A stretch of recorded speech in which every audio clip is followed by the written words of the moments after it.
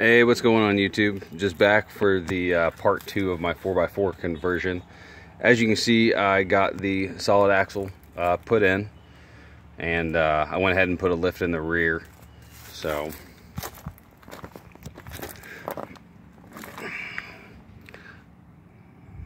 this is pretty much it. Uh, you can see I did uh, extended brake lines for it.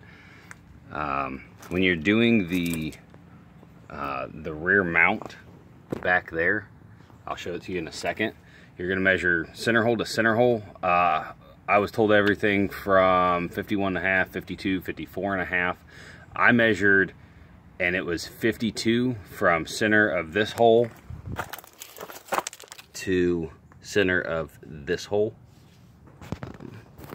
You can see when you take off your two-wheel drive bracket, you're gonna have this hole here. Um, at first, I thought that's where one of these was gonna line up, but no, it is 52 inches from there, like I said, up to the front. Um, so basically, uh, what I still have left, um, as far as the solid axle goes, is to do the um, shocks.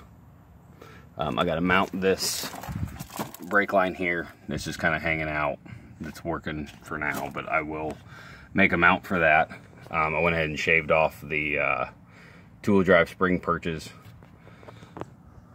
And then down here you can see the, the new steering. Um, I went ahead and just ordered four-wheel drive. I've been told that you can make your two-wheel drive work. Um, I just had the money, so I went ahead and did the four-wheel drive. Let's see if it'll focus again. There we go. I went ahead and did the four-wheel drive um, steering arm there and then down here that actually this bar right here it already came with the axle. So and then I've got the um, basically a steering dampener there. So.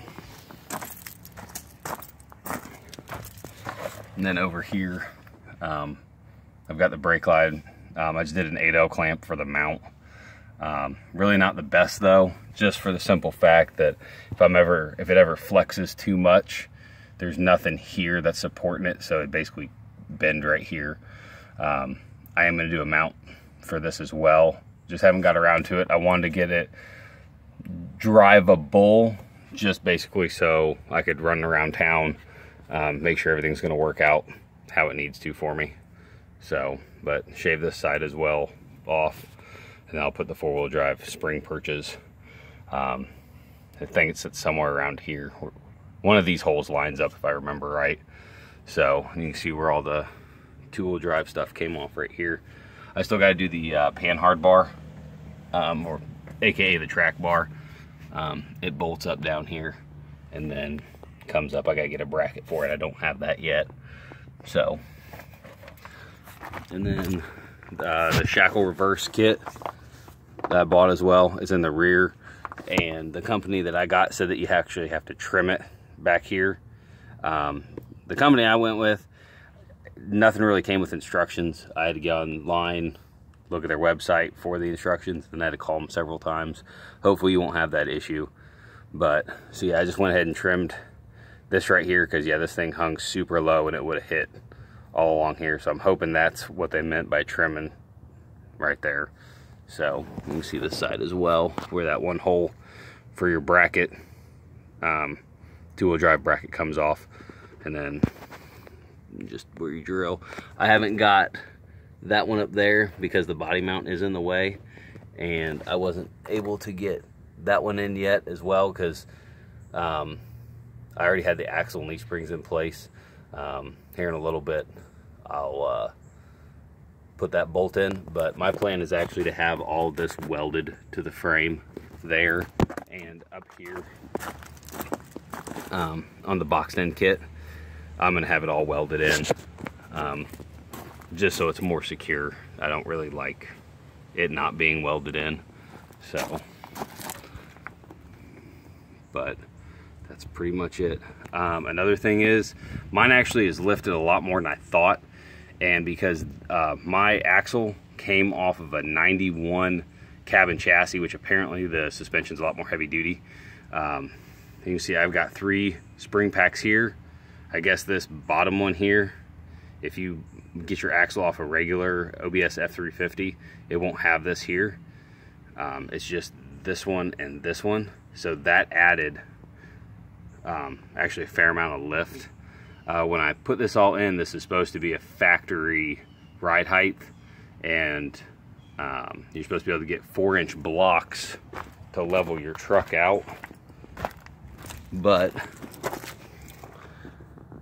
those are six inch blocks. And so that's what I'm using to level my truck out right now. I'm gonna do traction bars. Um, I've got to get the shocks. As you can see, there's no shock there. And I kind of half-assed put this together. Um, I'm gonna go get the right length bars that I need um, for the sway bar. But yeah, you can see I got the lift blocks in right now. So, and as you can see, I mean, it sits, sits pretty level right now. Kind of walk around a little bit, show you from the front. And with the third leaf spring in the front, this thing rides pretty rough. I'm gonna see what I can do about making it a little nicer. Hopefully the shocks will help out. But right there, that's it. There's a Dodge from a couple of my other videos. But, yep, so stay tuned for more on the 4x4 swap.